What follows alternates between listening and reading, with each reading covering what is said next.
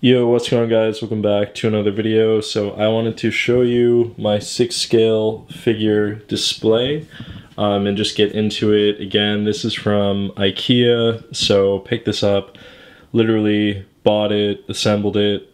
It was a little bit difficult to do on my own. I guess you're supposed to use two people, but I did myself. But I want to show you guys all the figures, kind of the story of where I got it, my thoughts, and yeah, we'll get into it. So opening up the glass right there, just want to show you guys on the top. Um, this is from The Empire Strikes Back. It's actually a storyboard. It is signed, um, and I forget who signed it. Dennis Muren. Um, so pretty cool. Really like that. It's a great little piece. Shout out to my brother for getting me that. Really nice of him.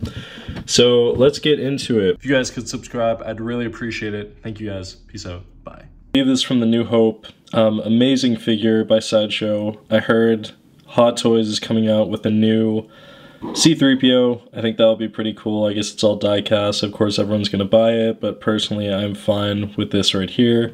You do have these light up eyes, which are really nice. So really like that a lot. It's um, touch sensitive.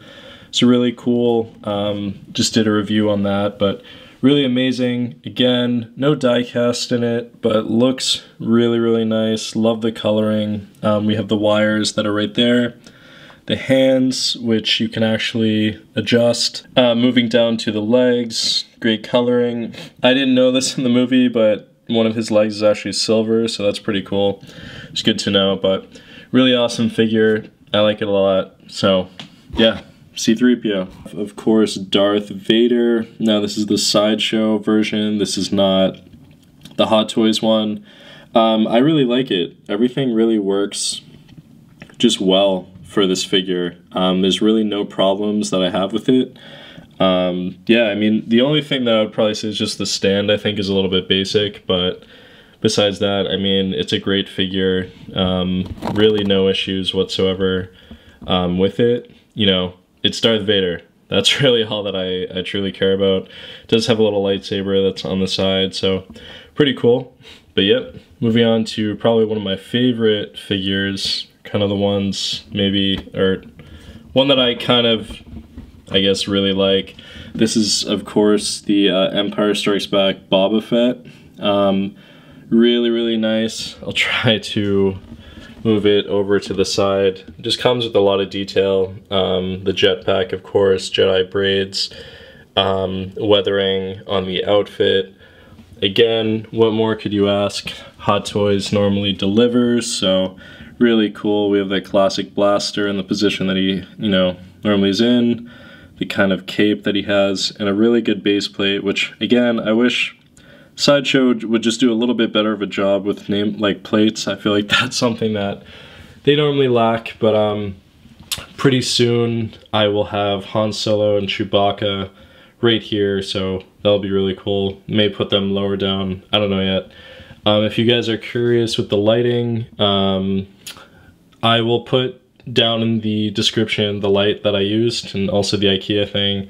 Maybe for every figure if you're curious where to get them but really cool. Um, so yep, that's kind of like the Star Wars kind of side. All right, so moving down, um, I know you see two different, you know, characters from different movies. Um, the reason being is, you know, Orlando Bloom was in Pirates of the Caribbean, so I guess that's kind of why I put him in. Already zooming in, you guys can see how amazing this figure actually is. This is the DX15, I believe, or 06, I'm not sure.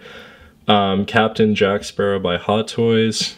What a legendary figure. This thing is insane. Like, if I just took a photo right there, you would think that that's Jack Sparrow.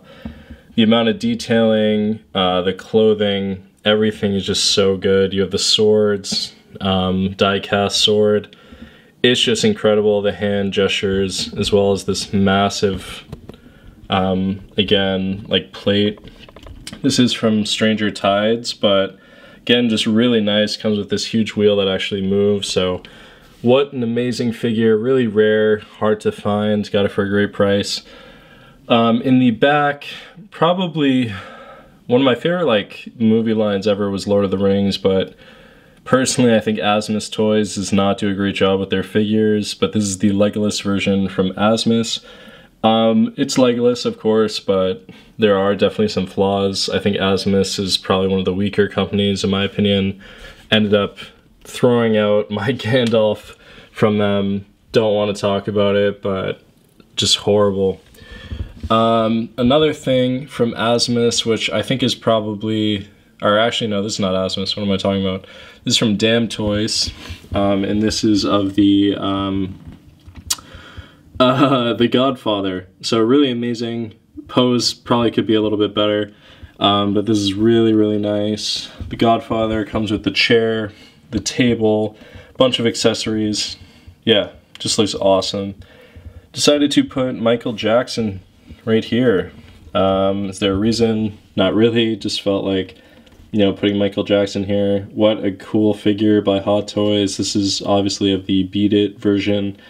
Um, just really nice. That's really all I can say.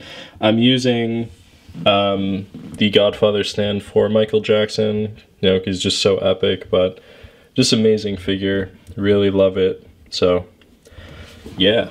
Moving down to the last part right here, we have Iron Man. I am forgetting which Iron Man this is, but um, yeah, really cool. I think it's like the Mark 85, I want to say. We also have the um, Spider-Man Far From Home version, the upgraded suit, so really cool. And we have Ric Flair right here in all of his glory, as well as some comic books in the back. So, you know, um, not everything is like perfectly organized, but really cool. Um, so again, this is my little collection of Sideshow Hot Toys, Dam Toys, different figures, you know. But yeah, it's my collection. Now, there is one figure that I'm currently waiting for in the mail, and that is the InArt Joker um, rooted hair, but I only got the one that comes with the prison scene because the prices are just insane, found a good deal. But once that comes out, there'll be a review, and I may have to either put it on top or somewhere because I guess the base plate is really big. So anyways, thank you guys so much for watching.